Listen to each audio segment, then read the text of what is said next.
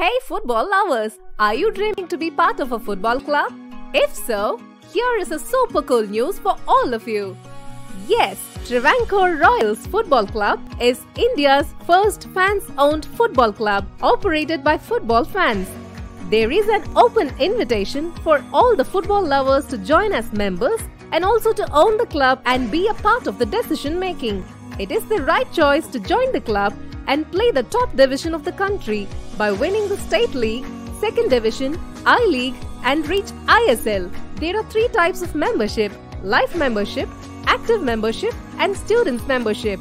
We have been in the field for nearly two years and have members from India and across the world.